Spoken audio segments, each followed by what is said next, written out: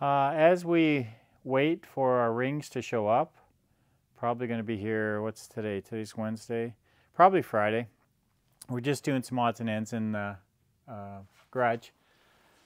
Uh, I put these in backwards. These strut rod bushings. The bushings are fine, but the washers themselves in big letters say this side towards rubber. And of course I can read it, so it's they're on backwards. So uh, the factory ones were this direction, you know, the curve towards the bushing. But these ones are supposed to be opposite. I'm not sure why or what the difference is, but so I got to pull those apart and switch them around. So we're not going to film that, but I'm just letting you know what we're up to. Uh, another thing over here is the transmission. The filter we put in there is for a later style transmission. This transmission being a 64 has a two pumps in it, one front and one back. So on the filter, they're on the bottom of the valve body, and we'll show you once I open it up. Um, this is the filter we put in there, and there's one hole for uh, for you know the suction of the valve body to suck the fluid up. Well, on the rear pump transmissions, a friend of mine, Dave, uh, brought this to my attention. It should have two of these, and I did notice a second hole on the on the uh, valve body. Uh, so this is the wrong filter. Um, today, while I was in town during work, I phoned a couple different uh, auto parts places, and neither of them had stock nor listings. In fact, the guy at Napa said that a 64 Chrysler never came with a 727, according to his book. I said, Well, I know what I'm talking about. That's not correct. And then he said, Oh, it came with an RH this and that and and uh, a 904. And I'm saying, Well, it didn't come with a 904, so that's incorrect again. But anyway, I'm not sure if they're calling it something different than a 727. But uh, anyway, he had no listing. He couldn't help me. Went to the other place. They don't even have it in their system. Um, so Rock Auto doesn't have it in their listing. So we'll have to figure something out. I mean, somebody somewhere, maybe uh, transmission rebuilders, they'll be able to get it from their wholesalers, I'm sure. It's obviously not a common item, but they got to be able to get it. So we got to pull that apart, find another filter. So that's not quite done yet.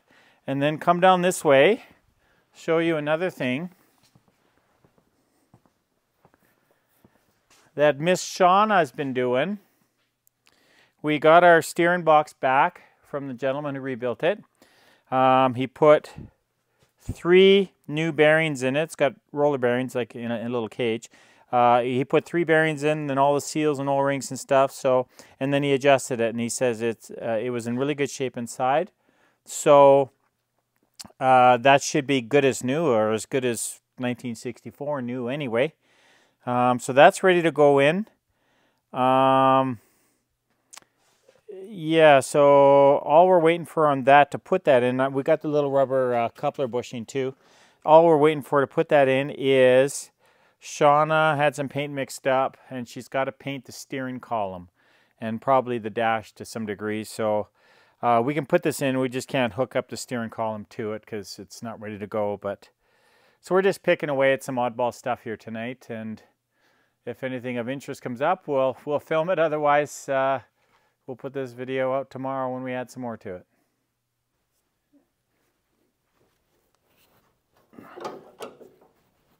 Okay, we got them both switched. You can see here how it curves out. I had them the opposite way. Um, I suspect it's probably to give it more lateral movement, rolling on the edge or something. I don't know. But uh, it does make sense when you can visualize the uh, suspension going up and down. So anyway, they are correct. And it doesn't say this side to rubber anymore. So I know it's right. Shauna has the air sander going and she's getting the column ready for paint. While Shauna's sanding, I took out the pistons yet again. But that's okay. We'll have the new rings in there and it'll be a better engine for it. It's another day. Uh, this uh, video segment is just going to be a bunch of little stuff taken up over the last week. Uh, haven't had a lot of time out in the shop. I've got stuff going on with my commercial truck and trying to prioritize that. So this just gets shoved to the back burner. Anyway, we'll put up a video tonight. Today's Sunday, February 18th.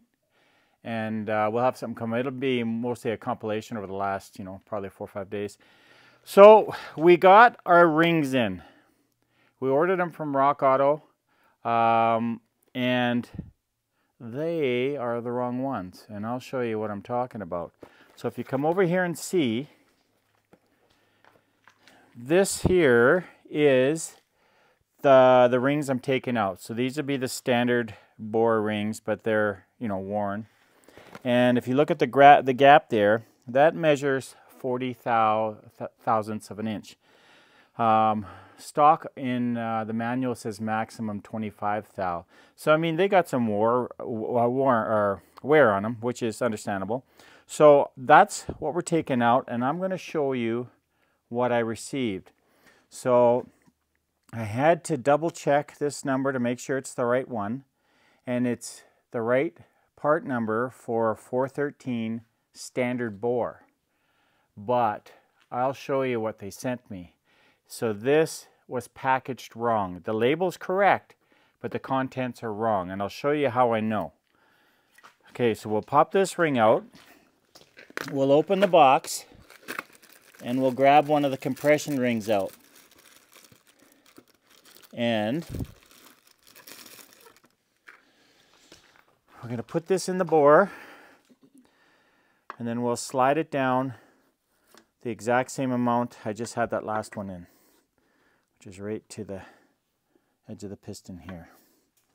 Okay, actually I want to do that different. I want to put the gap on top so you can see it in the camera better. So we got it in there. We're going to lower this down.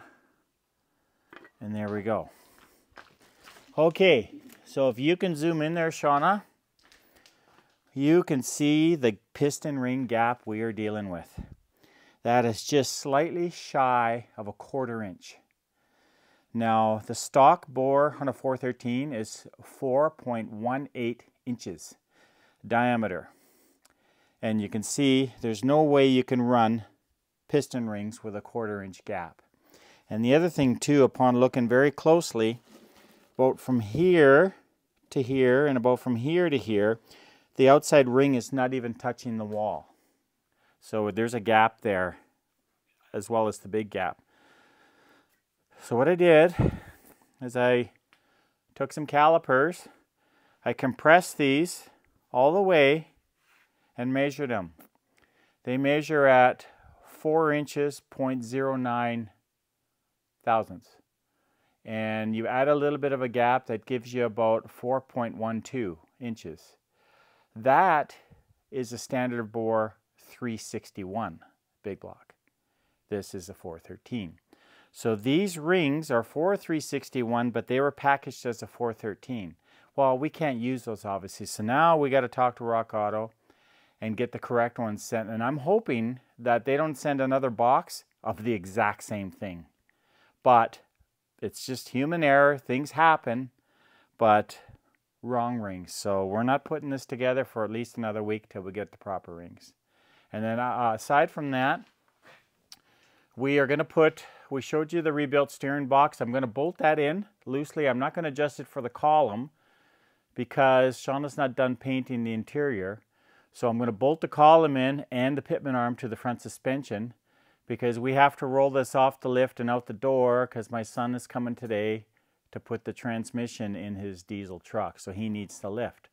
So we'll just put this together so our wheels don't go like this when we try and push it or tow it or whatever. And uh, we'll get that put in here shortly. Sure. Steering box is in. Just temporary because we're supposed to have the column all mounted up as you put it in just to make it easier to get to the collar on the bottom. But we just need it so we can keep the front wheels parallel while we're moving it around and kicking it out of the shop. I also picked up a new seal for the tail shaft.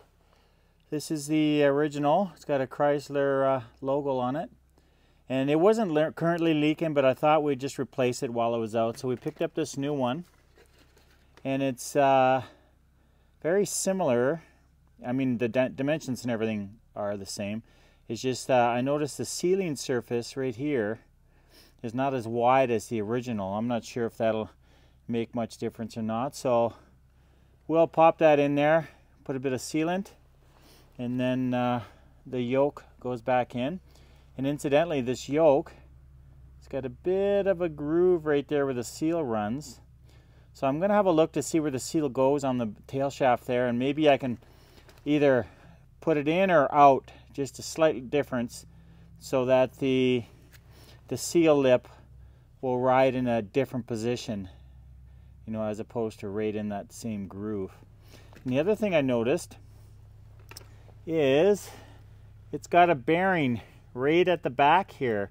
Uh, later model Torque-Flites have a bearing intermediate somewhere up here and they just have a bushing here. So I'm not sure if this has uh, double bearings or what, maybe because of the the extra weight of the yoke on the end there, I'm not sure, but uh, definitely better built uh, if that's the case, if it's got two bearings.